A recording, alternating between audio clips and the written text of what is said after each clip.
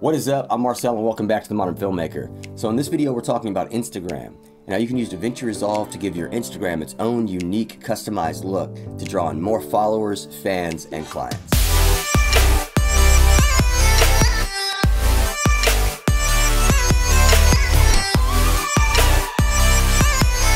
So whether you love Instagram or hate Instagram, one thing's pretty undisputed and that's the fact that a ton of people are on Instagram. And if you think about TV, commercials work so well because people are already sitting there, they're already tuned in, they're already waiting for content. So if you can just slide your ad in there, then a ton of people will see it. And social media can be used the same way for content creators. It's somewhere people are already checking in on multiple times a day on their phone. They're already looking and waiting for new content. So if you can kind of work the system and get your stuff in front of them, then a ton of people will see your content and be able to give you a response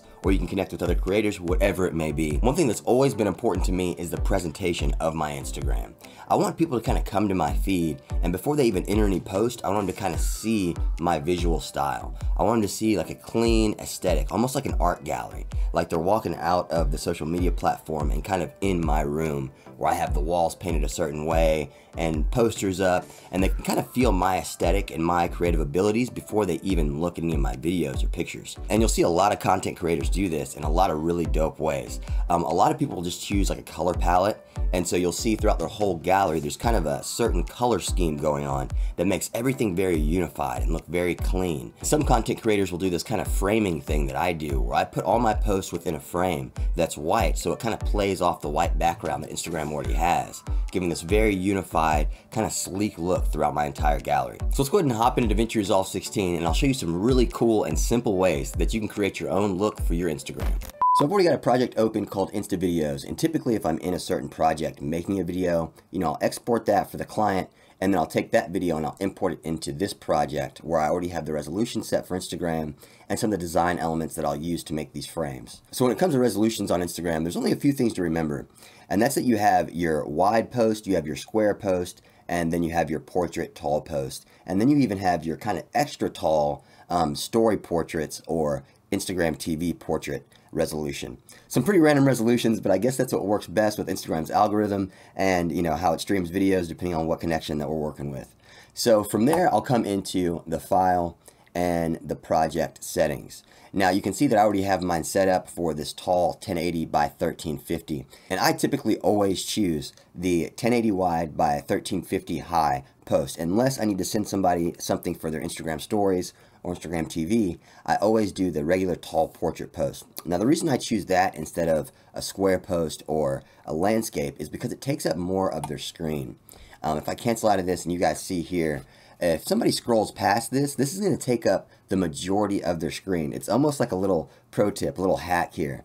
Um, so when you're scrolling through Instagram, a taller post is going to take up more of your screen. Therefore, uh, they'll be less distracted by the post that came before it or the post that comes after it. And they'll kind of be stuck with your post for the whole kind of stroke of the screen um, to deal with whether they want to watch it or just scroll past it.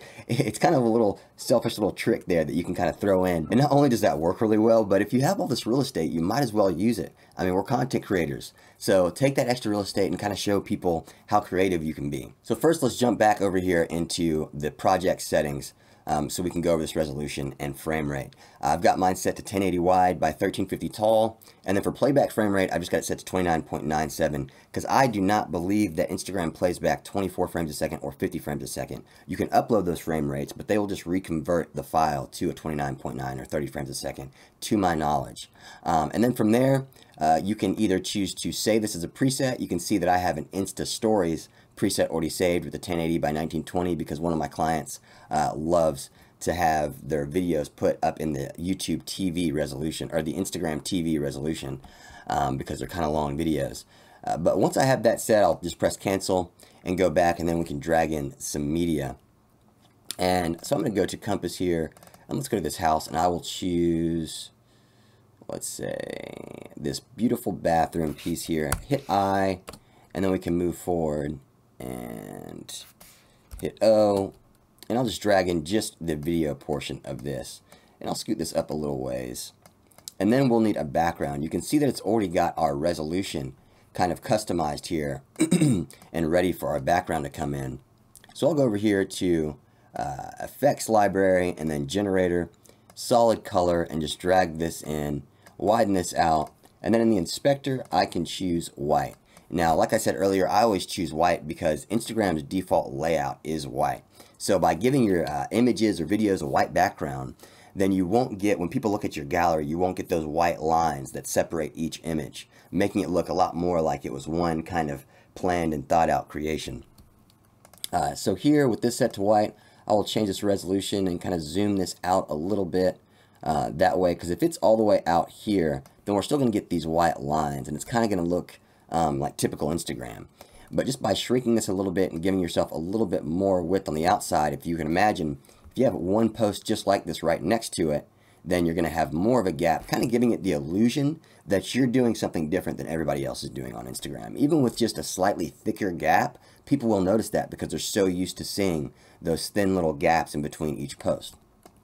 So with this setup here, I'll drag in the logo and just drag this right on top here and I'll stretch this out and we'll shrink this down to go right where we had it before which was down here. I'll go to the position and just scoot this right in right here. And then what I did uh, if you look back here I've also got their little compass little logo right here up top. And that can be done really easily. I'm going to slide this down and I will hold alt and copy this logo. And then I'm going to scoot it up to the top and then I will scoot it over to the right. And from here I can go to the crop. And the crop is like a really quick way to like make a mask. Now, of course, you can only make a square mask because you can't diagonal any of these cropping uh, options, but you can soften it, which could be kind of helpful uh, depending on your situation.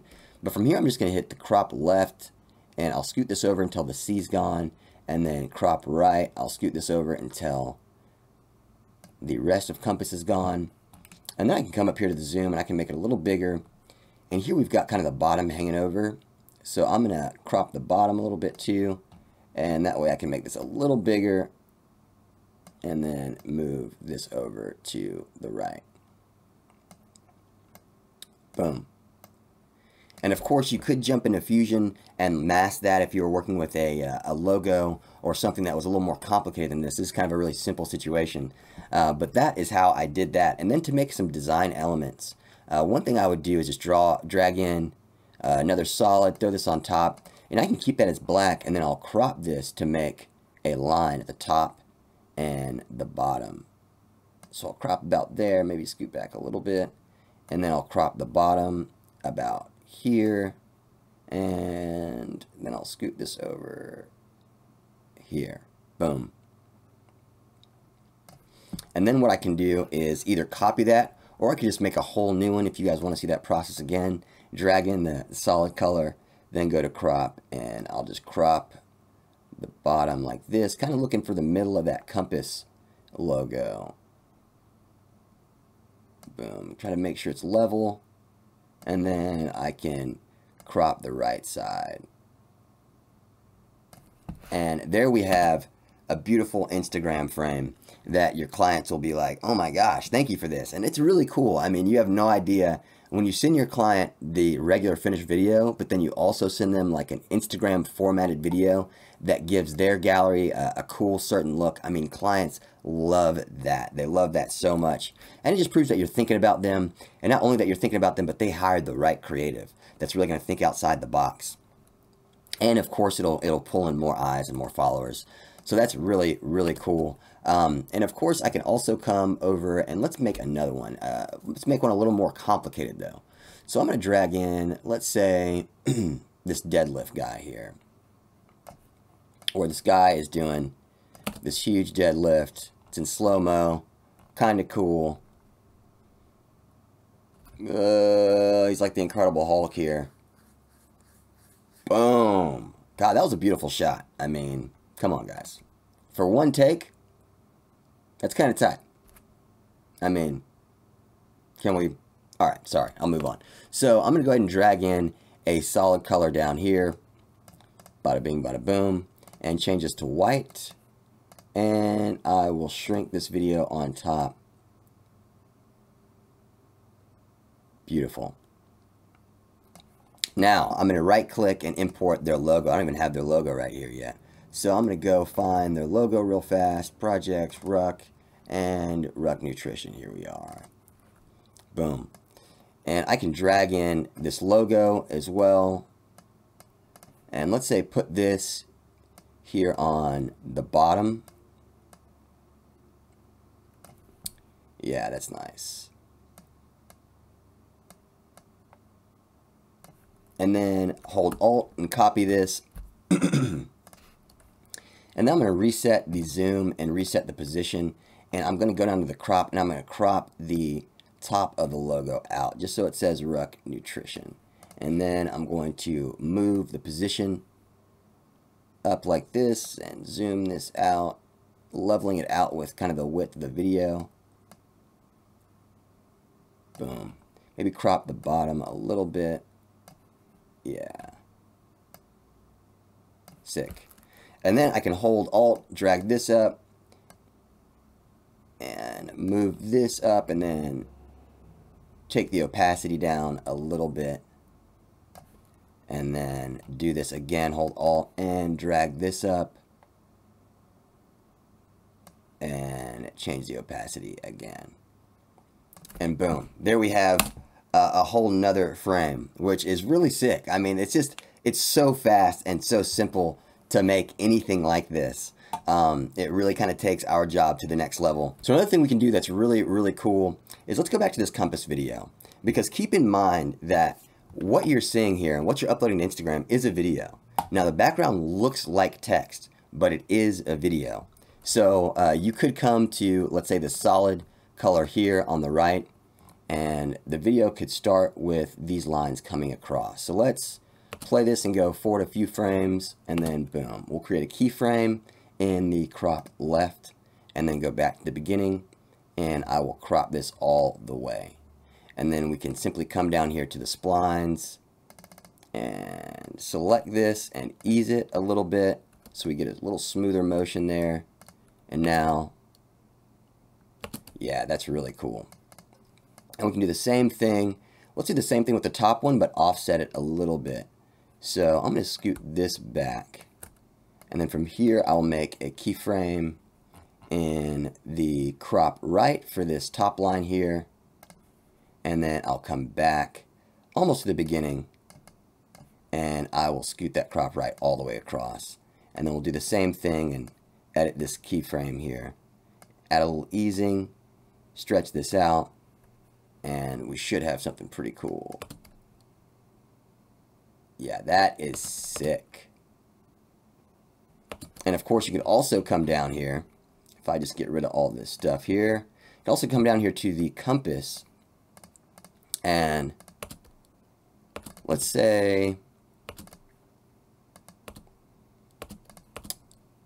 you know it would be really cool? Okay what you can do this is sick. So I'm gonna need to make all of this smaller and we are going to move around this video I'm going to put all the design elements underneath the video and then scoot the video back on top Probably should have done this to begin with, but you know what? You do what you can. And then from here, I'm going to take this compass and move forward a few frames, and I'm going to drag this up underneath the video. Keyframe that. Keyframe it at the beginning again, and then go back to this last keyframe that we made, and I'll move this back down. And then, of course, we can go in and add that easing that we added to the other keyframes. Boom. That's pretty freaking cool. That's just such a sick little thing to do. Uh, and it makes all the difference just kind of having those things come on the screen uh, because it also kind of draws the attention there. It's like, oh, this is a compass video, um, in case you didn't notice. And of course, you can do the same thing with the logo at the top. If I move forward and make a keyframe at the position and then come back close to the beginning, I can scoot this down under the video and voila. Very cool. Very slick. Now, I, I think you guys are getting where I'm going with this. The possibilities become kind of endless because you have this whole frame and you could just make a completely animated frame that's constantly moving. Um, as well as kind of make your whole gallery look a certain way. Once somebody actually goes into the video, they're like, oh my God, this whole frame's moving. It's like I'm in a whole different universe. Where'd Instagram go? And then one more thing we can do is if I just want to save this frame, just the frame, I don't need the animations, I just want uh, this picture uh, for future use, I can drag in and make it the background uh, for future Instagram posts. I can simply go into the color tab and well, let's do this first. In the edit tab, let's go ahead and mute the video. Um, so it's just the frame and then jump into the color tab, right click, grab still, and then you can right click on the still and then export that still. Um, so I'm just going to export this to the desktop as a JPEG uh, as compass frame or compass instaframe. Boom. And now on my desktop, I got the frame right here so I can import it back in any project I need uh, and kind of take it from there.